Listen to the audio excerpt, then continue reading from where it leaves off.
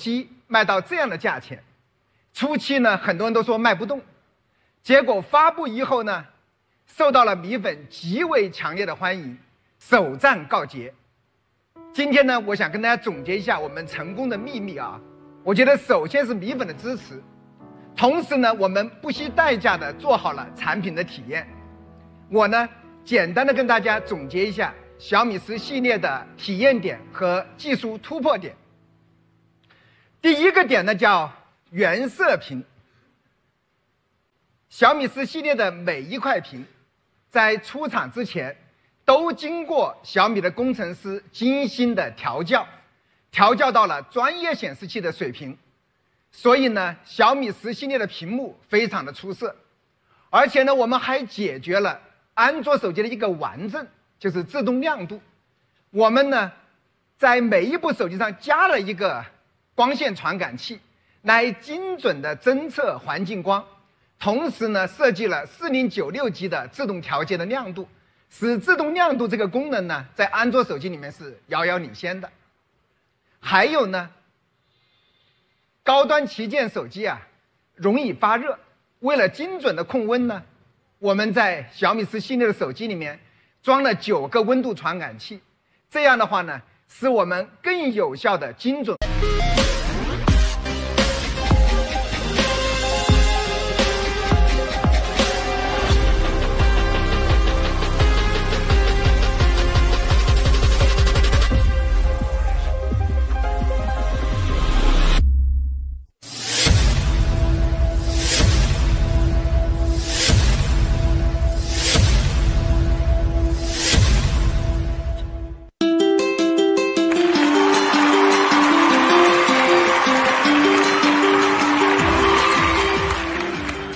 大家晚上好，欢迎大家来参加小米十一的新品发布会。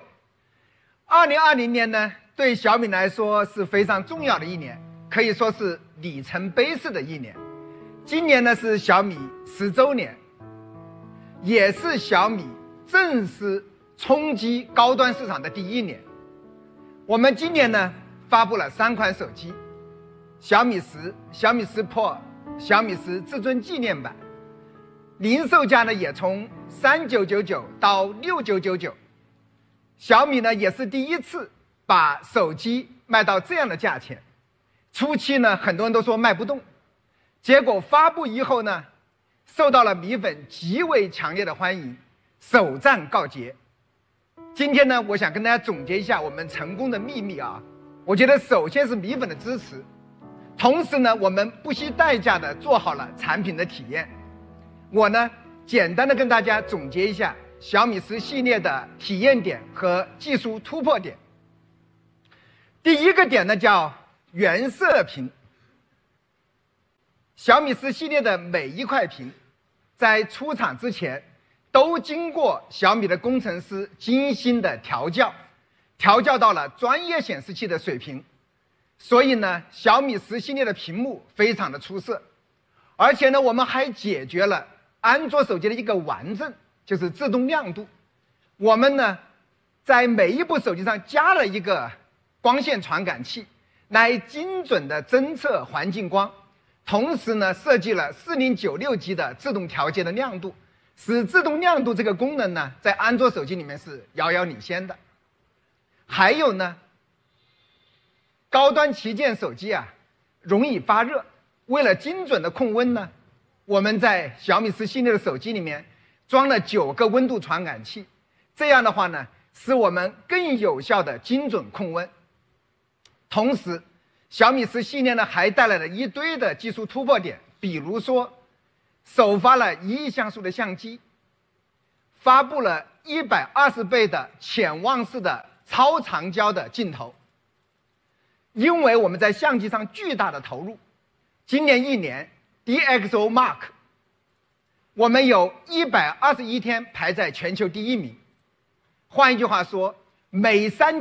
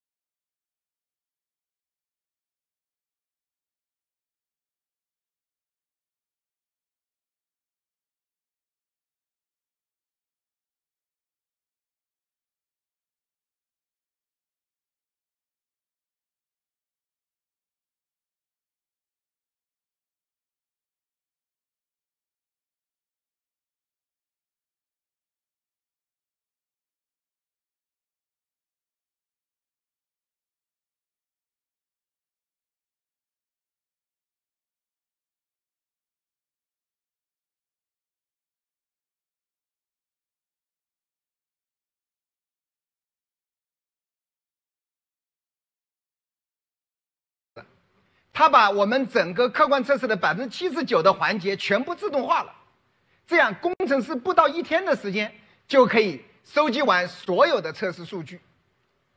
这个实验室还特别有价值的是什么呢？它可以远程操控，这样我们散布在全球的十几个研发中心都可以远程用这个实验室来完成相机的测试。所以，正是有这样高水平的相机实验室，小米在相机影像方面的进步是是巨大的。我们有这间显示光学实验室，它能仿真。千万种环境光，对于我们怎么把屏幕的颜色调好有巨大的帮助。还有像这间音频实验室，这是手机的音频实验室。他们说这间实验室是地球上最安静的地方，就在这里呢，有着行业领先的消音室和头肩模拟器来模拟整个通话的场景。这一间实验室也挺有趣啊。这一间实验室呢。可以仿真每个用户的使用习惯，然后来模拟他们使用的全过程，可以同时容纳一千八百多部手机，七乘二十四小时不间断的运行，然后来确保整个手机的稳定性。小米的整个实验室的设施呢，遍布全球啊，仅在我们小米科技园就有一百二十多间，其中呢，手机专用的测试实验室就有超过九十间。所以，我希望有一天呢，我们能办米粉开放日，可以邀请更多的米粉呢到我们实验室来看一看，看一看我们这些年里面在科技创新和投入上到了一个什么样的水准。当然，谈到做手机的话呢，我觉得不仅仅硬件做得好，一定是一个软软件、硬件、互联网服务融合在一起的体验。我觉得今年小米进军高端，取得这样的成绩。也离不开米 UI。下面的话呢，我想请金凡来介绍我们米 UI 最新的进展。有请金凡，来欢迎。啊，各位嘉宾，呃，米粉，还有屏幕前的兄弟姐妹们好。那个今天内容特别多，咱们抓紧时间，赶紧开始吧。好，那个今年是我们第一次一年发布两个版本。然后，因为米 UI 作为安卓阵营的领先者，我们去年其实对我们内部立下了一个目标，就是要挑战最强，最强也就是 iOS。那么这一点呢，其实非常的难，很多地方我们需要大幅突破安卓的现有框架和能力。那么今年我们在系统上的研发量大概是往年的二倍，二倍多。由于整个研发计划太过庞大，所以我们也拆分成了两个大的版本。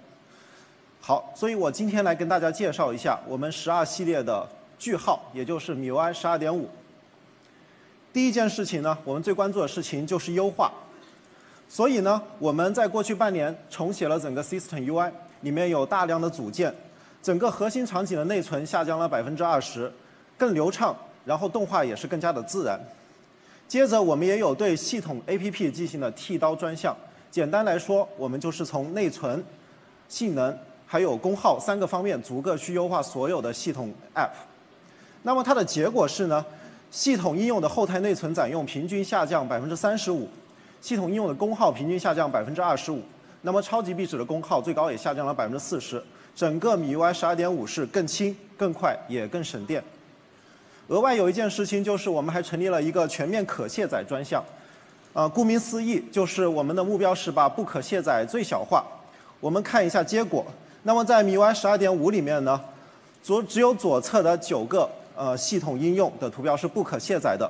在右侧呢，绝大部分图标都可以完全卸载。然后有少部分的应用，因为包括系统的关键组件，即便如此，你也可以在桌面上把这个图标直接给移除掉。不喜欢你就删掉它。所以，米 UI 十二点五中间，我们的是一个非常非常纯净的系统。我们想在这一次把选择权交给用户。就是如果你不喜欢一个应用，那你就可以把它给删除掉，就这么简单。好，第二件事情呢，就是动效。呃，动效是非常的重要的一个环节。那么我们在米 UI 十二中间呢，我们的光追动效架构奠定了一个顶尖的技术基础。它大幅突破了安卓的现有能力，能够让我们第一次在安卓手机上实现非常复杂的混色、模糊，还有物理引擎的按压和运动。这些东西呢，帮助我们大幅突破。那么我们在 MIUI 十二点五中间，整个安卓的那个整个光锥的架构，我们更上一层。它有三个新的特性，给大家逐一介绍一下。第一个就是手势 Toggle。那么手势是非常高频且重要的操作，在安卓的整个架构中呢，手势是和其他桌面的绘制在一起串行处理的。那么一旦当出现 CPU 的抢占，线程阻塞，那么你的手势，比如说打开、关闭应用，或者说切换任务的时候，它就会变卡、变慢。我们在 MIUI 十二点五中间呢，把这个手势构建了一个专有的一个线程，并且给予优先的调度。这样子的话，极大提升了桌面的流畅，所以呢，可以做到触碰急速响应。那么我们来比较一下看看，搭载了 MIUI 十二点五的小米旗舰和 iPhone 的对比。我们可以发现，在桌面的这个动效上面，不管是细节还是流畅度上，难分秋毫，都是顶尖的水准。接下来，光锥架构的算力升级，因为我们所有的动画渲染都是依托于光锥架构，那么光锥架构从米 u i 十二的单核运算，我们变成了米 u i 十二点五的多核并行运算，并且效率翻倍，结果是渲染力成了二十倍。所以可以实现非常复杂且流畅的动效。上面的例子可能不够直观呢，呃，所以呢，拿到这个能力以后呢，我们的一位工程师拿删除，嗯，做了一个演示，大概会是这样的。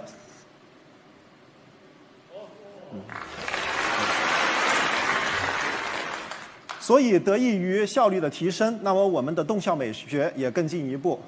我们在十二的时候，我们推出了通感可视化设计，其实是一个非常直观、高效传递信息的一个动效。那么这一次，我们在 MIUI 十二点五中间呢，这些动效无处不在。不管是开机引导的无缝切换的动画，还是在倒计时的沙漏，直接传递出信息，并且可以随着你的手机晃动而摇晃。那包括像应用下载都变得无比惊艳。大家注意水面的折射。像这些细节以前是没有办法在我们的系统上实现的，非常的漂亮。实际上不仅仅是这些细节，整个 MIUI 十二点五中间都充满了各种各样细微的动效，给大家看一看。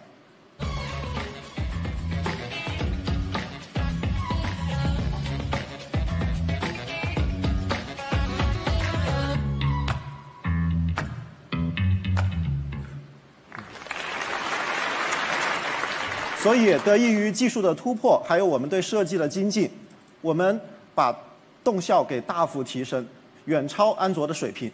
然后头一回，我们也给用户一个选择，就是说你可以选择 MIUI 作为另一个顶尖动效的选择。接下来就是机型分级，光锥动效的机型分级。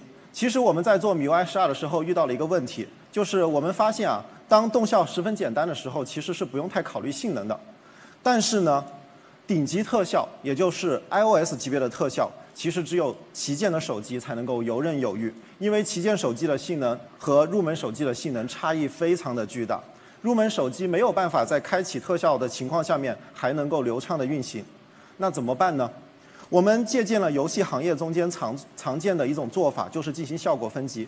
大家可以注意屏幕上的例子，我们的旗舰是实时的模糊，终端是非实时模糊。而入门是无模糊，目标呢？我们其实就是要平衡效果和流畅，让每一台手机都尽可能多的获得顺滑的体验。好，然后我们在米 UI 十二推出了让人惊艳的超级壁纸，呃，所以呢，也带大家开始了一段史诗般的旅程。我们带大家回顾一下。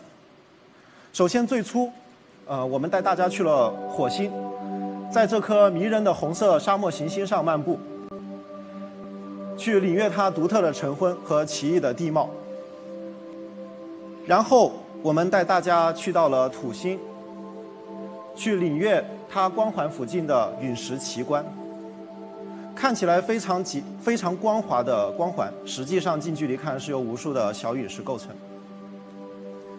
然后我们又回到了地球家园，带大家去看了克罗地亚的海湾，还有格陵兰岛的冰川，以及我们中国广西。的梯田，所有这些景色都十分的壮丽。那么我们在 MIUI 十二点五中间呢，也给大家带来了两个新的场景。第一个，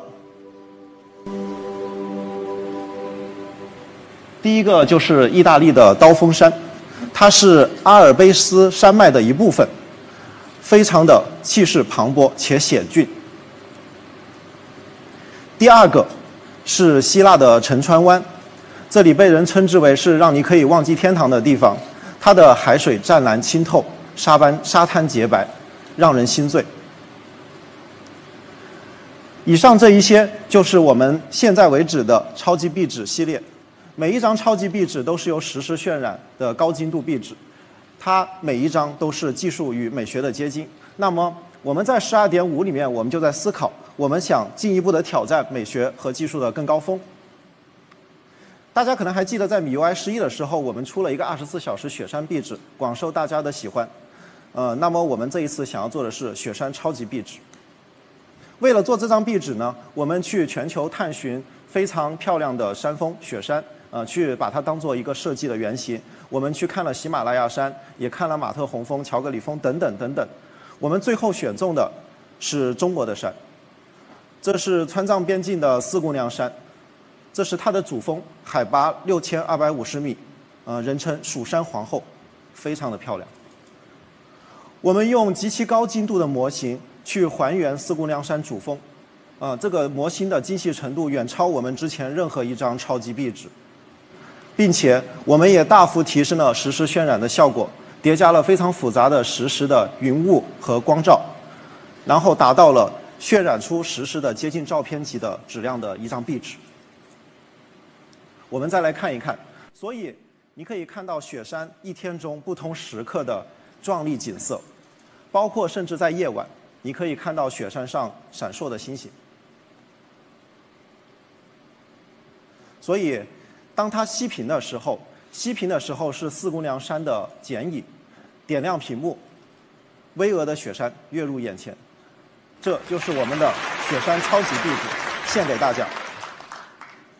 当然。超级壁纸的脚步并不会停下，所以呢，我们这一次也是第一次想给大家放一个概念的预告片，给大家看一看我们超级壁纸下一步会带大家去到哪里。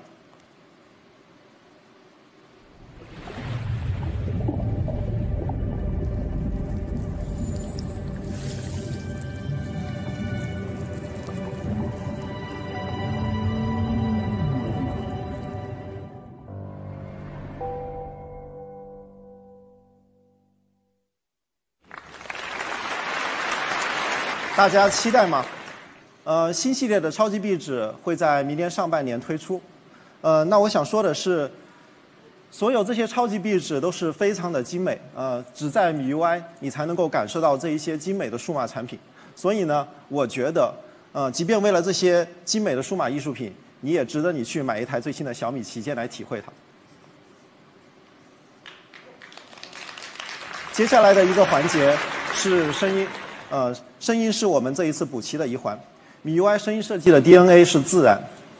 其实我们在 MIUI 十的时候引入了自然音效，就是由水木沙石构成的这些自然音效，非常的悦耳动听。在 MIUI 十一中间，我们让通知音和闹钟铃声随着时间而变化，也因此获得了2019年的红点奖。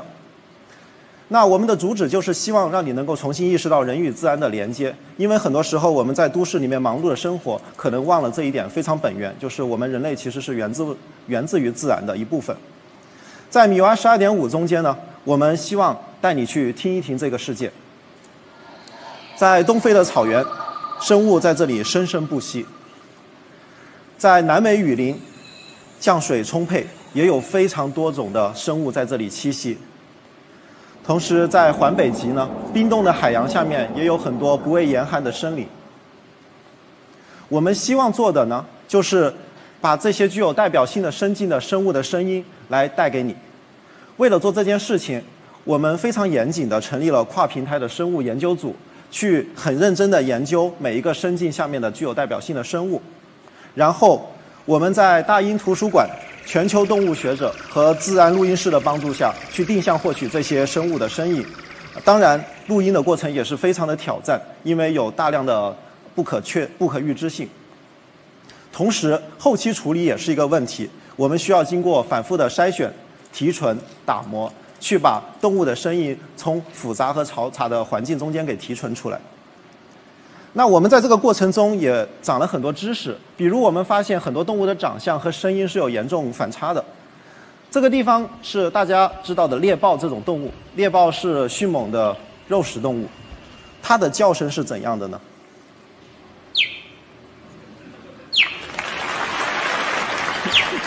反差非常大。再举一个例子，呃，这是非常呆萌的考拉，呃，在很开心的吃着树叶。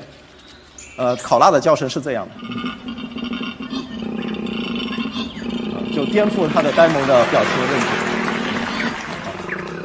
当然，在另一面，我们其实也看到了人类的行为和全球气候的变暖对这些生物造成了巨大的冲击，也让我们震惊和反思。所以，我们在这一次的作品中也特别收录了濒危物种的身影。最终，经过大量的背后工作。其实我们呈现出来了一个看起来非常简单的作品，这个作品就是米 UI 十二点五的系统通知音。你可以选择一个你所喜欢的声境，把它设为你的声音场景。比如说我们选中东非草原，那么你的所有的通知就会化为漫步的生物。比如说通知可能是大象，也可能是狮子，也可能是犀牛等等。我们这次一共收收录了一百二十五种生物。所以呢，我们也给它起了一个额外的名字，叫做“自然博物馆”。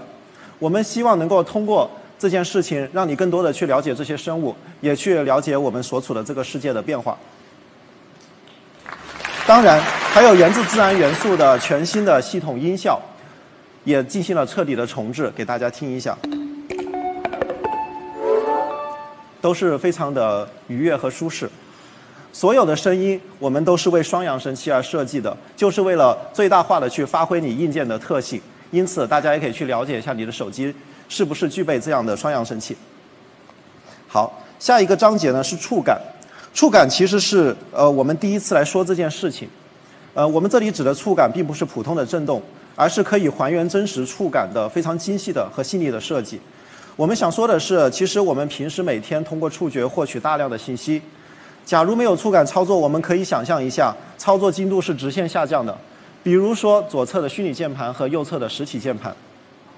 那么如何在手机上呈现真实的触感呢？呃，我们其实看一下真实的操作。你在真实世界中的操作，它的力和位移会带来一个机械反馈的曲线。其实我们做的事情是把机械反馈提炼为精细的振动信号。用振幅和频率等等一系列精细的设计去来还原这个力反馈，所以呢，我们可以通过振动去反馈这个物体是清脆的，还是有弹力的，还是柔软的。那么我们在系统中间，我们也由这种精细的振动去呈现自然的触感。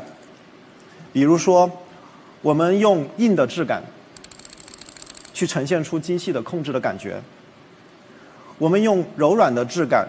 去带给用户舒适的临界反馈。这些设计在系统中到处都是，包括像微小的爆裂，或者说图标的碰撞等等等等。我们做了一个前所未有丰富的触感库，覆盖了整个系统。然后我们觉得这件事情大幅的完善了手机的体验。对它，其实我给大家看一个例子。这个例子是我们把。实际的震动进行了视觉化处理，希望大家能够感受到我们在米 UI 十二点五的自然触感的细腻程度。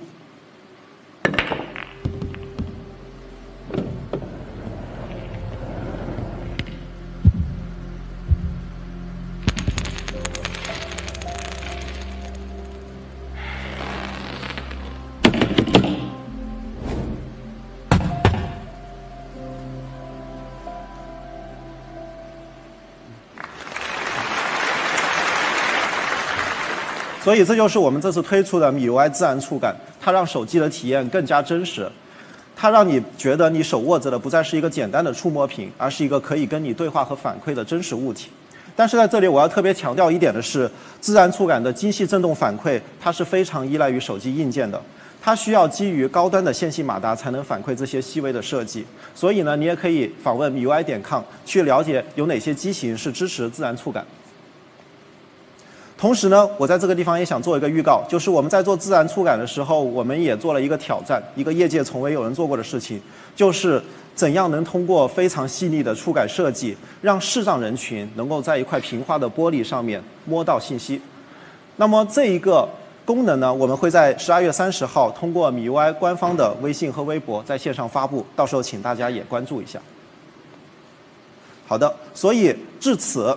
呃，我们可以看到，MIUI 十二点五完成了一个设计的体系的闭环，不管是视觉还是听觉还是触觉，这个中间充斥着大量的细节和我们过去的沉淀以及思考，它提供了一个全面顶尖的美学体验。我们现一个 video，用一个 MIUI 设计的理念的 video 给大家看一看。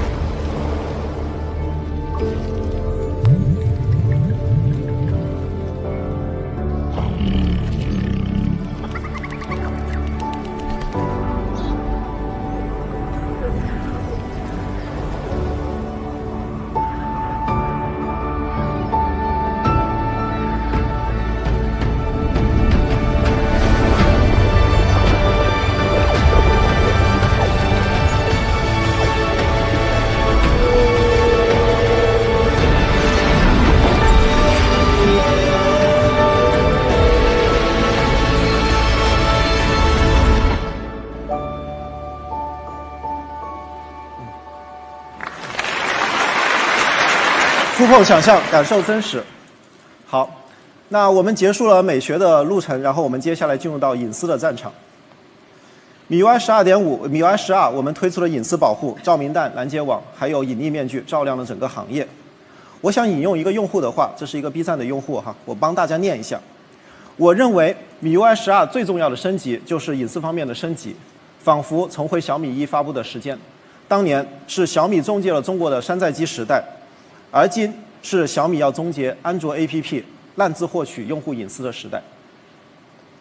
实际上有非常多的用户给我们发来了支持，当然我们也获得了国家相关机构的认可，包括人民日报、新华社和央视新闻都在过去给予了报道。半年过去，米 UI 点亮的光照亮了整个行业。我们来看一下，从五月份至今，米 UI 发十二发布以后。A P P 访问隐私相关权限的频次大幅下降，这个地方也要当然也要感谢呃上级部门的领导和支持。我们可以看到，所有的数据都在下降，应用的行为越来越规范。当然，作为隐私作为隐私保护的先导者，我们能力越大，责任也越大。因此，我们也参与了百余项行业标准的建设，包括米 U I 照明弹等功能。将列入手机的入网标准，所以以后每一台手机都将配备照明弹这些功能。但是隐私的战役还在继续，所以米 UI 十二点五我们将开辟四个新的战场。我们来说第一个，第一个是一个不为不为人关注的战场，就是剪切板。呃，你可能很你不知道的一个事情是，就是平时我们复制的信息就会留在手机剪切板中。这个地方的信息敏感程度可能超乎你的想象，不管是出行轨迹，还是购物喜好，或者是常用地址、证件号码等等等等。你更不知道的是，其实有海量的应用都在读取剪切板信息。为什么要读取呢？这些隐私信息是可能被用来描绘你的数字画像的。你是一个什么样的人？你在关注什么？你在关心什么？那我们在十二点五中间推出了剪切板隐私保护，第一步就是曝光应用的行为。我们要告诉你究竟是什么应用在读取你的什么信息，并且把掌控权交给你。然后我们会进行详细的记载。同样，对于合理的剪切板读取，我们会智能放行，不打扰用户。比如说，抖音要读取自己的抖音口令，这是一件非常合理的事情，我们不应该进行拦截。所以，第一个就是智能剪切板的隐私保护，我们照亮这个不为人关注的角落，把隐私权交还于你。第二个事情是地理位置。位置信息，呃，大家知道就是一般的定位精度在两到三米。我们现在手机在这个精精度的范围呢，我们可以提供像地图导航，呃，比如说像运动这一些的服务。但是呢，其实更多的服务是不需要精准定位的，比如说新闻资讯、视频等等。你看一个本地新闻，它没必要知道你到底住在哪一栋楼。因此呢，我们这一次在米 UI 十二点五中间的模糊定位，我们基于差分隐私技术，对你的位置信息进行模糊化处理，最大化的保护你的隐私。所以你在授权的时候，你可以选择给予这个应用怎样的位置信息精度。第三个战场是文件存储，这是一个非常常见的弹窗，啊，但是你可能不知道的是，当你允许了以后呢？在现有的安卓体系下，允许了以后，这个应用就可以访问整个存储。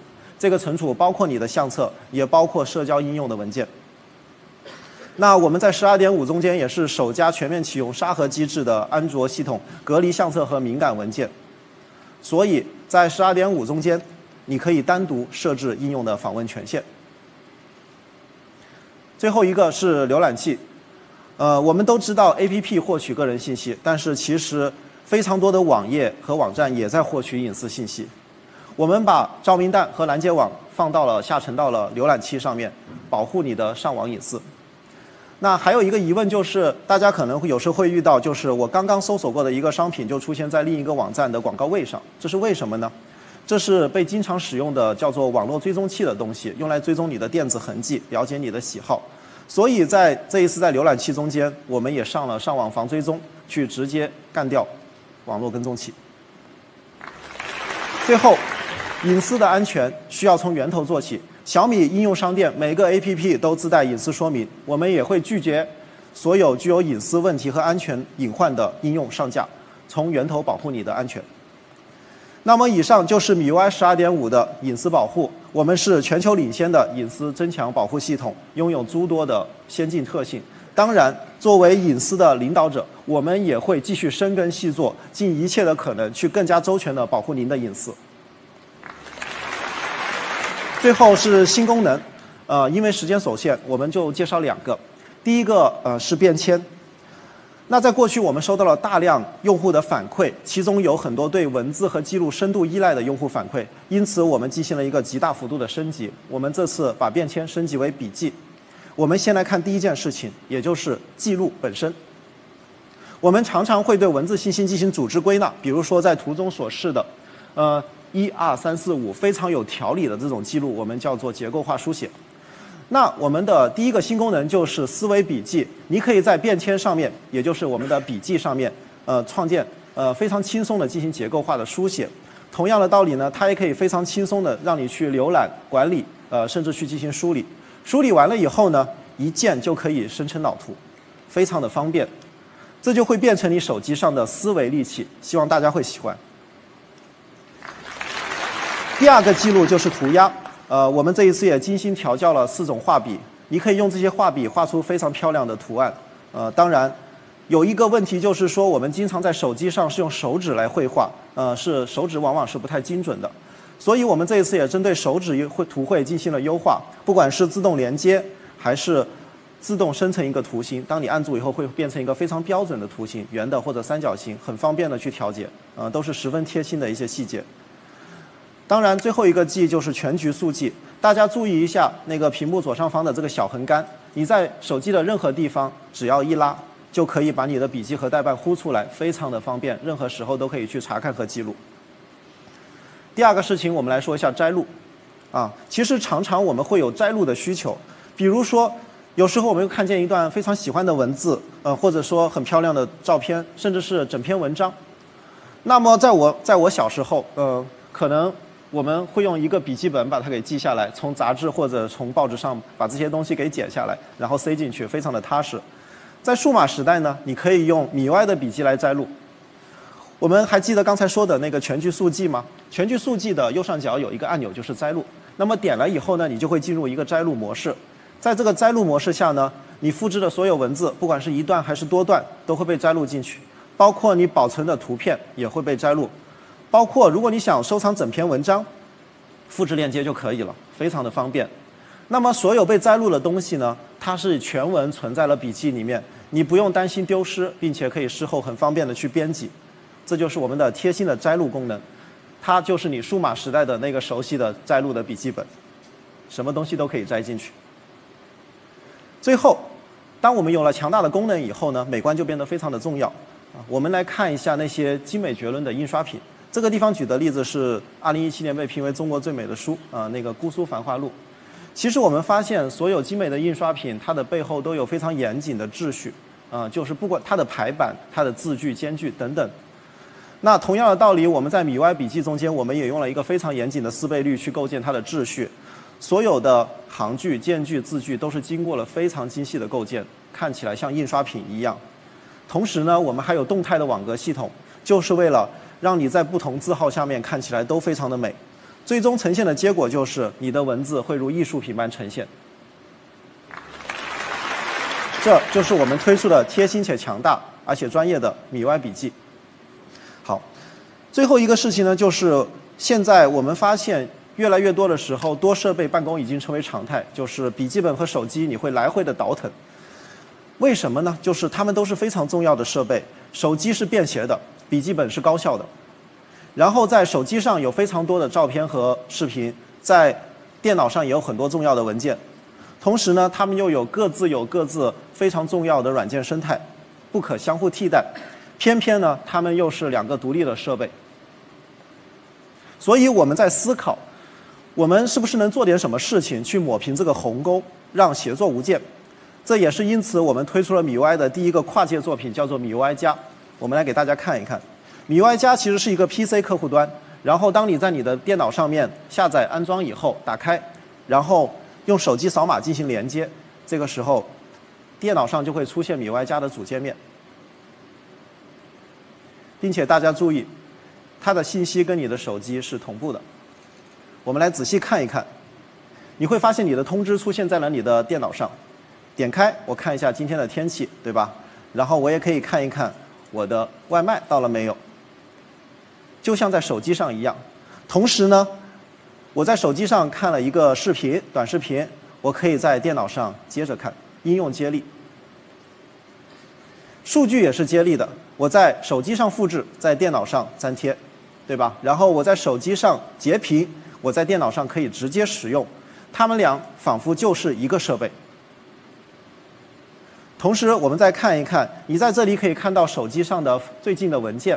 我们在电脑上提供了一个很方便的文件管理，点开，你就可以用大屏的方式去高效的浏览手机上的文件，比在手机上更方便。更重要的是呢，你可以用电脑上的软件来打开它。比如说，我打开一个 Excel 表格，我其实是在使用 WPS 打开，是电脑上的 WPS 打开手机上的一个文件。那你还可以这样，比如说在手机上看一个 PPT，这一页不好看，对吧？没关系，然后我用电脑打开，改变一下排版，手机上继续看。笔记呢？刚才我们说的笔记，我们也针对大屏进行了适配，在电脑上打开米 Y 的笔记。是，也是一个大屏，在电脑上更好用。像这种文字工具，永远是大屏会是更高效、更舒适。所以呢，我们发现一个很有趣的事情：我们以前觉得 Windows 和安卓是两个完全不同的生态，但是当米 Y 加里面呢，我们发现两个生态的边界逐渐模糊。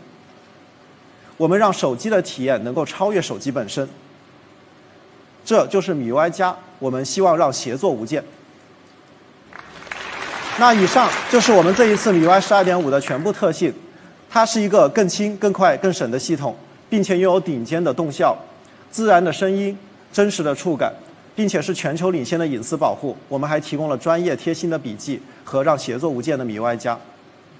那米 Y 十二点五到了关心的时候，就是我们的内测申请，现在就开放，所以请屏幕前的你在微信搜一搜米 Y 公众号，去申请内测资格。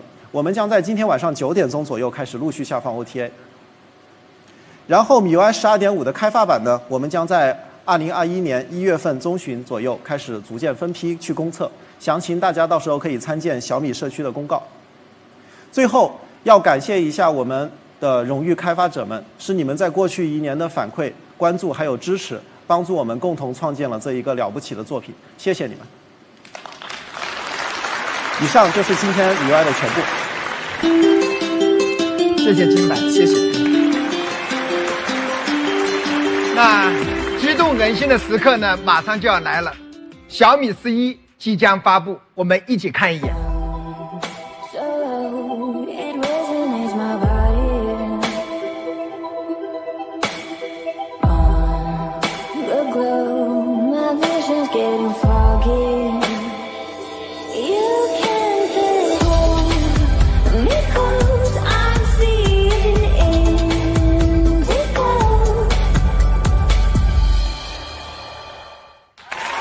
吗？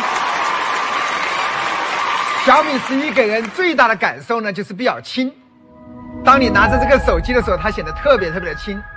在这样的大屏手机啊、只有一百九十六克，而且呢看起来特别薄。整机呢只有八点零六毫米厚，中框只有一点八毫米，所以拿在手上的手感呢特别特别的出色。跟我们上一代相比的话呢，它薄了零点九毫米，轻了十二克，所以整个手机呢极其轻薄。在这么轻薄的手机，大家最大的担心是什么呢？是电池。我们当年做小米九的时候，为了追求这种极致的手感，当时我们设计的电池不够大，说实话被米粉骂惨了。所以，进入了五 G 时代以后，我要求他们的电池一定要做到四千五百毫安时以上。我觉得在今天四千毫安时的五 G 旗舰手机，你肯定扛不了一天。那么我们这一版做了多少呢？做到了四千六百毫安时。我们再欣赏一下整个小米十一的蓝色版，非常非常的漂亮。我们有三种颜色：蓝色版、白色版、黑色版。这三个版本全部采用的是 AG 磨砂玻璃的工艺。因为我们在发布小米十的时候呢，小米十 Pro 采用了磨砂工艺，哇，米粉特别喜欢。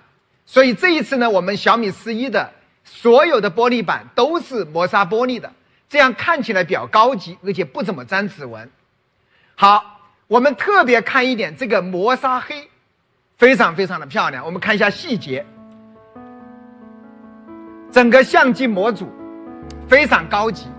这样的设计呢，是为了在小米十一里面容纳超大号的相机模组。我们再看一下相手机的顶部和手机的尾部，我们看一下这个双扬声器的出音孔都做的特别特别的精致。除了三个玻璃的颜色以外，我们还有两款树皮的颜色。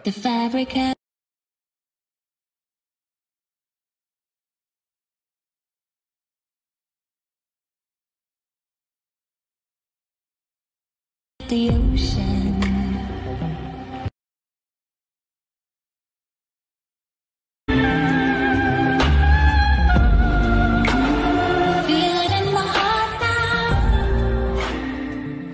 欢吗？这一款呢，是我们在设计的时候做了大量的用户调研，这是大家最喜欢的一款颜色。大家知道这个颜色叫什么名字吗？可能有很多很多种叫法，最后呢，我们把它正式定名前叫烟紫色，烟紫色。这一款呢，就是卡其色，卡其色。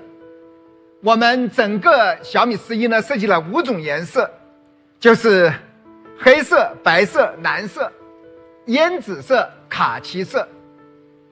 我们再仔细看一下这一款蓝色，它有一点点像早晨太阳升起的时候大海的颜色，我们叫晨光蓝，就是这种磨砂蓝的感觉。这是我们拍的广告照，高级吗？所以的话呢，整个小米十一呢显起显得特别特别的高级，而且特别特别的精致。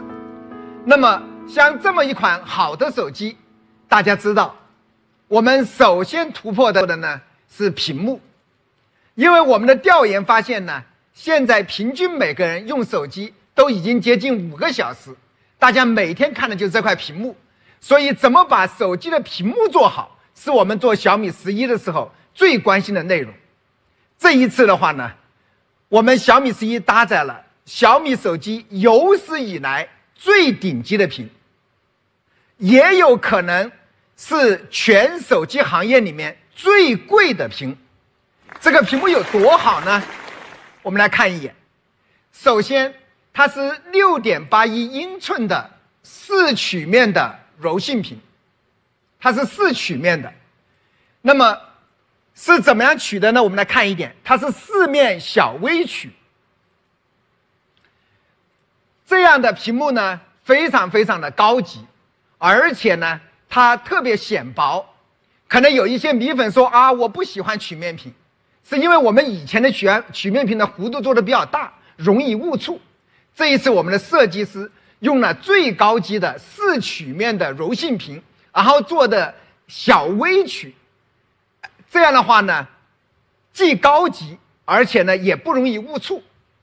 这个屏幕的话呢，采用了 E 四的发光材料，这是一项新的材料啊，啊、这种新材料之后呢，整个柔性屏的性能往前走了一大步，它的峰值亮度提升到了一千五百尼特，它的对比度呢高达五百万比一，甚至是它的功下降了百分之十五。当然，很多米粉特别关心，它也是钻石排列的。还有一个大家更关心的参数，两 K 屏。这是小米五年后第二次做两 K 屏。五年前我们做两 K 屏的时候，其实我们也挺担心的。后来呢，悲剧发生了，也被大家骂得很惨，因为当时的处理器的能力是根本跑不动两 K 屏的。今天我们拥有最强大的处理器，很大的内存，包括这么省电的屏。今天我们终于有勇气给米粉带来一款两 K 屏的手机。那么这个两 K 屏呢，整个屏幕上有四百五十七万个像素点，比上一代多了百分之八十。它的精度高达五百一十五 PPI，我不知道大家对 PPI 了不了解，就是每英寸有多少个像素点，是吧？人眼视网膜能分辨的就是每英寸三百二十六个视三百二十六个像素点，叫视网膜屏。那么我们这一次的精度高达五百一十五，这就是所谓的超级视网膜屏。那么拥有这样的超级视网膜屏呢，你看到的画面呢将非常非常的清晰。大家知道很多入门机今天用的 HD 的屏，当然有些友商一两千块钱手机也是用的 HD 的屏啊。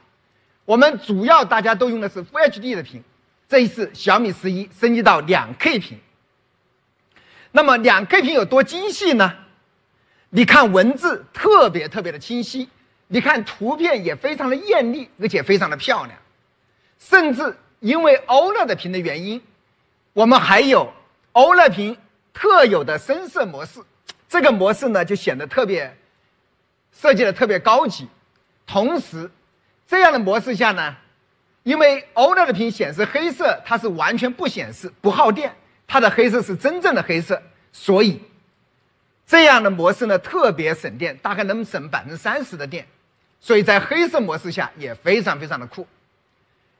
小米这一款最顶级的屏，除了两 K，还有大家期待已久的第二个功能——一百二十赫兹高刷。这一次我们的一百二十赫兹的高刷呢是四档自适应的。它就是自动调节的，比如说在熄屏的时候呢，它用三十赫兹；在阅读的时候用六十赫兹；在你打游戏枪战的时候九十赫兹；在你高速刷信息流的时候呢一百二十赫兹。它根据不同的场景呢，使用不同的刷新率，使整个整个阅读体验呢往前走了一大步。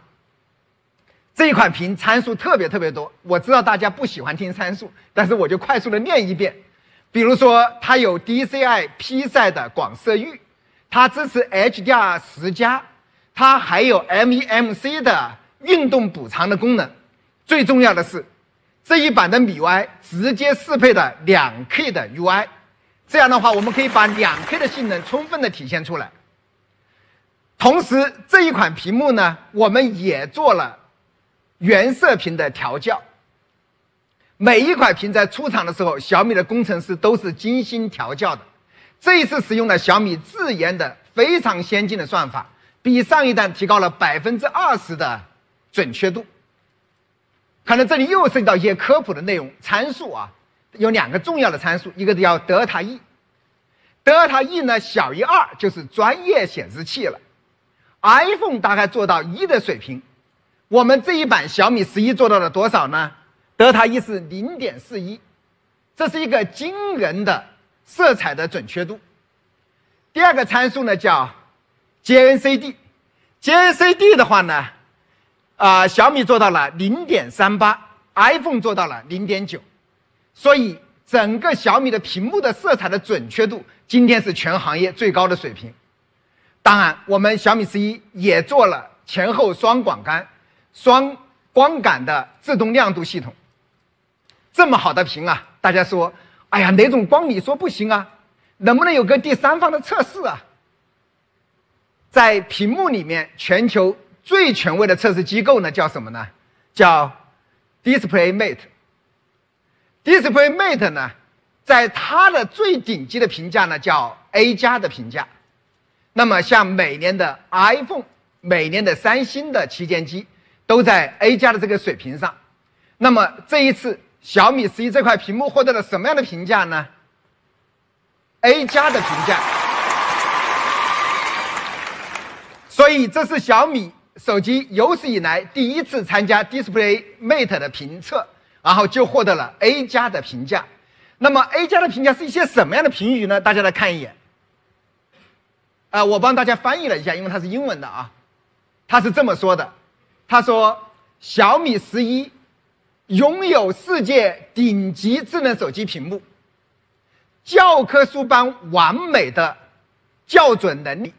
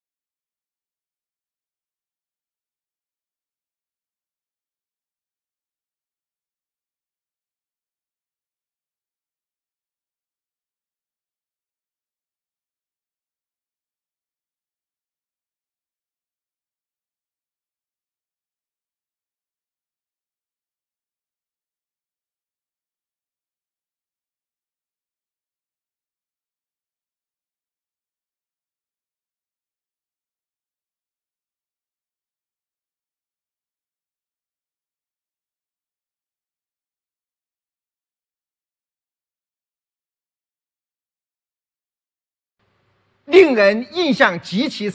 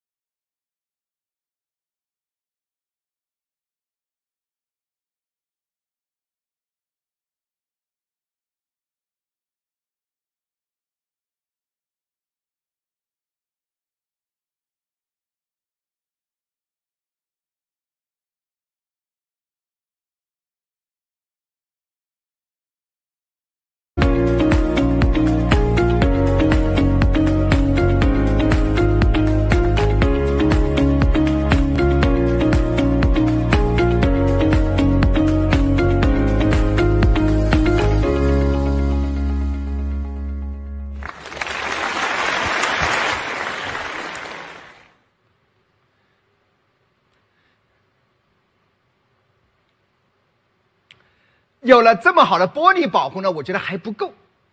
我们在每一台出厂的小米十一里面，都为大家精心的贴了一个保护膜，因为这是是四曲面的屏，我们特贴了一个曲面的保护膜，同时送了一个透明的保护壳。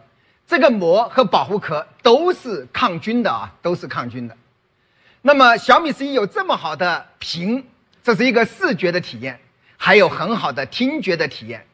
我们小米十一也是立体声双扬声器，它的听觉体验也非常的出色。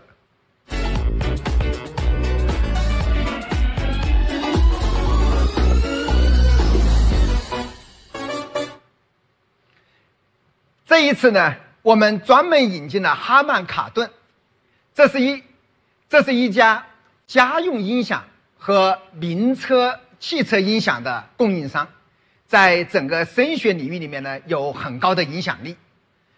我们邀请了哈曼卡顿的金耳朵的团队来帮我们联合调教小米十一，并且呢，我们的整个高解析力的音频呢达到了很高的水平，并且在我们的机身上也刻上了哈曼卡顿的名字。这样的出色的音频表现呢，当你看视频，有非常强的临场感，你打游戏也特别特别的爽，啊、听音乐，它的声音非常的透亮，层次分明，所以整个小米十一的声学表现都极其的出色。我们一起看一段视频。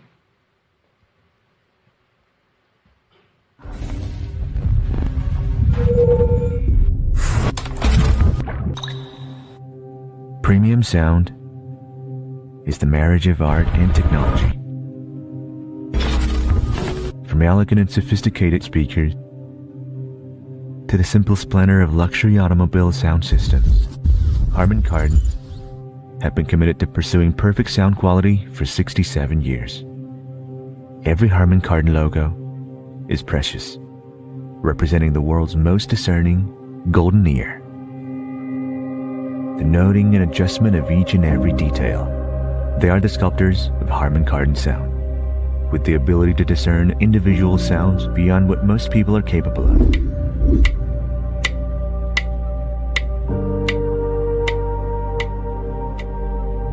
When the rich, artistic heritage of Harman Kardon sound meets the modern, innovative technology of Mi 11, the result is exceptional sound with a personal touch.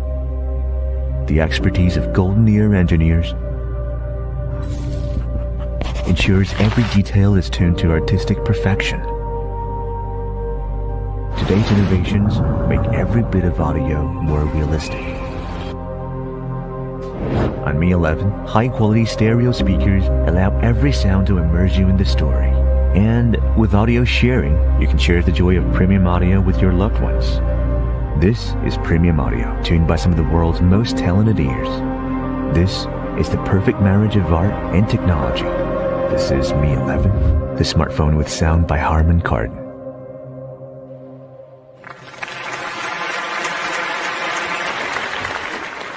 这就是手机上的哈曼卡顿。大家再来看一下，甚至它的出音孔也有些小设计。我们的设计师呢，觉得 我们这么好的音频，怎么能够在手机的设计上体现出来呢？大家来看一眼，我们就是把这样的音波做到了整个出音孔上，好玩吗？好，这一次的小米十一的话呢，蓝牙也有新的进展。我们这一次的蓝牙呢，可以两路同时接两副蓝牙耳机，就可以跟朋友、跟情侣分享音乐或者一起看电影。而且呢，我们还可以接两个蓝牙音箱，这样就会构建一个家庭影院的环境。这就是小米十一出色的音频系统。谈到这里，可能大家特别特别关心小米的性能怎么样。大家都知道啊，小米十一是骁龙八八八全球首发。我们来看一眼骁龙八八八。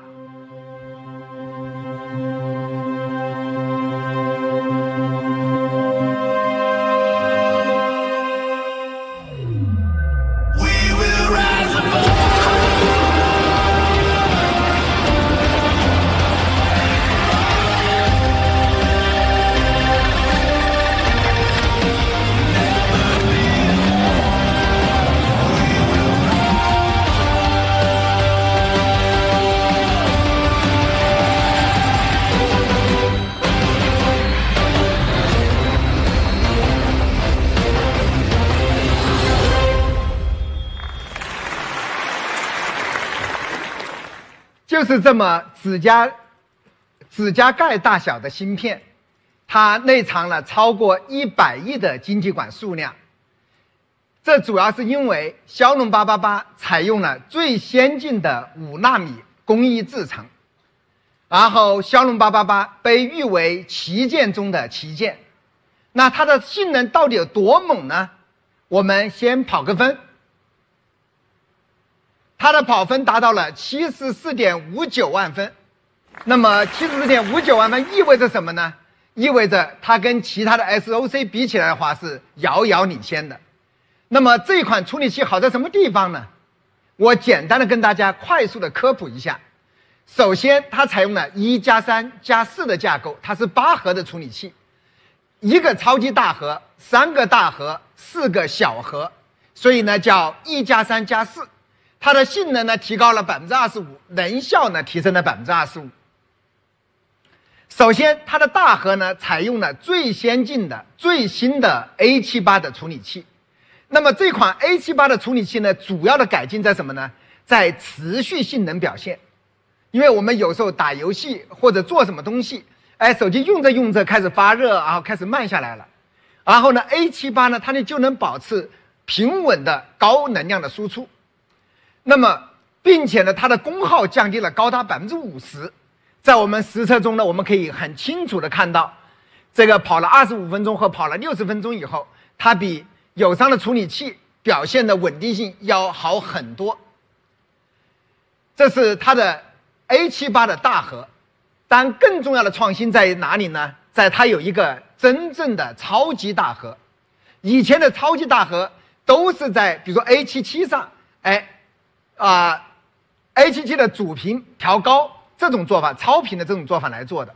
但是呢，叉一是重新设计的一款新的 X 架构的处理器。它的面积是 A 七八的两点三倍，它的性能得以大幅度提升。它主要是来应付巅峰的性能表现。那么这一款 X 一的性能表现有多强大呢？它提升了高达百分之三十，它是为次时代的极限性能定制的解决方案。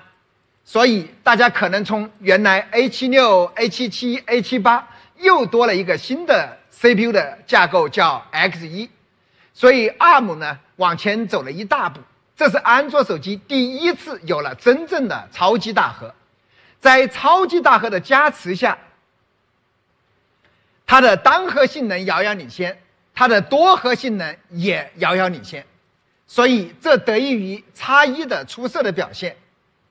那么大家可能很关心 GPU，这一款的 GPU 呢也是他们有史以来最大的一次升级，提升了百分之三十五。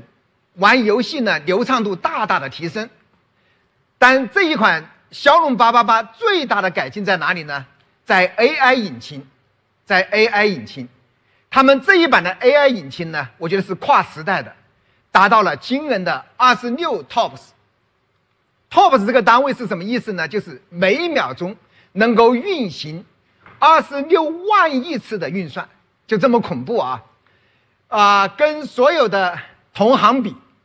这个这个成绩呢是遥遥领先的，跟上一代骁龙八六五比，上一代八六五呢是十五个 TOPS，现在提升到二十六个 TOPS，所以整个骁龙八八八，我个人认为最大的改进在 AI 性能。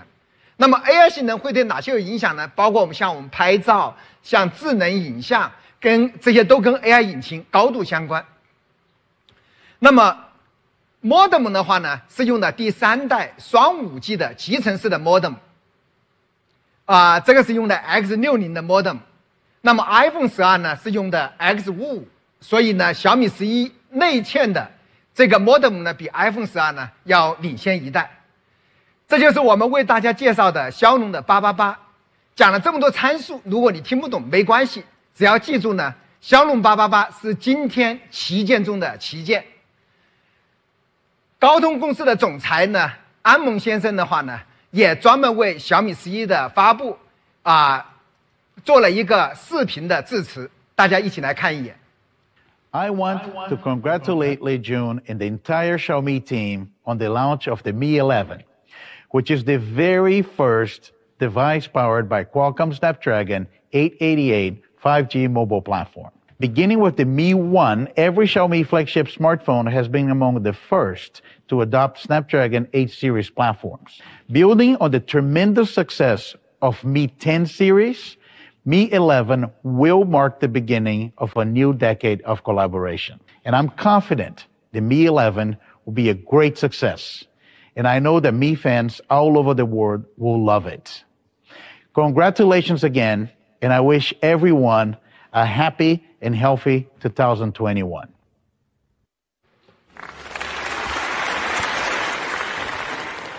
谢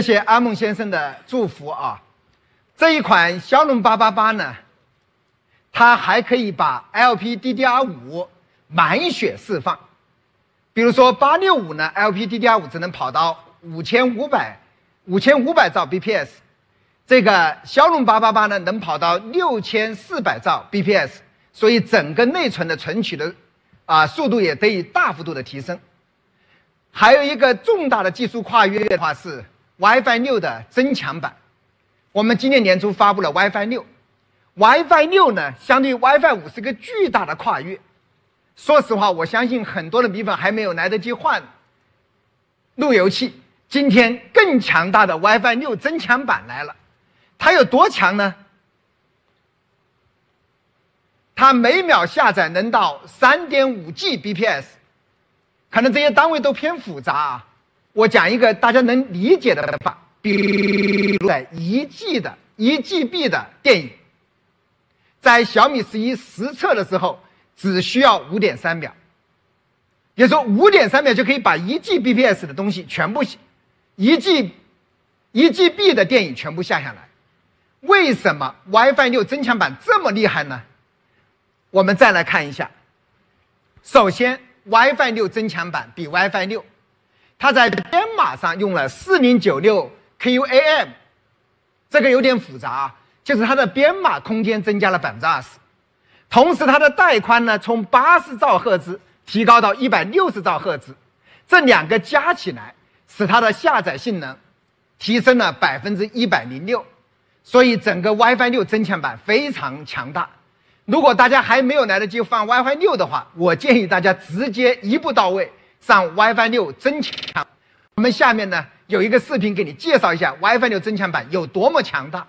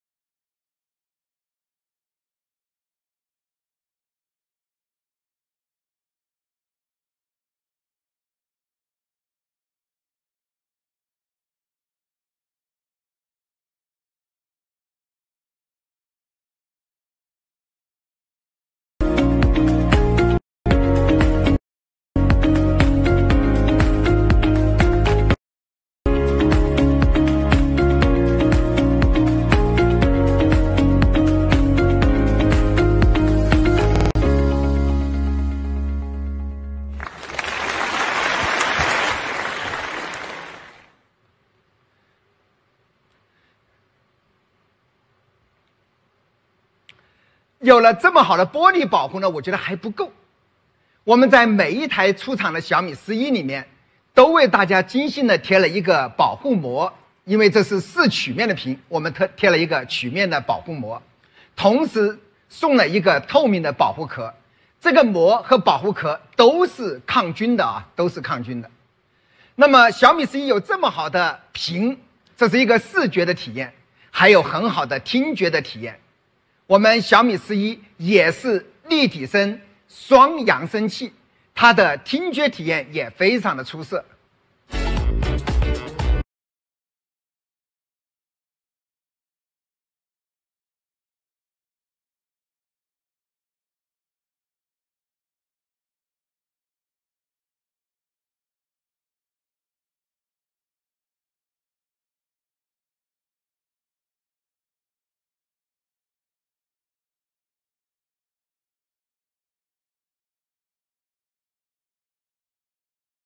广角的独特的视角呢，可以拍出这种非常有构成感的时尚大片。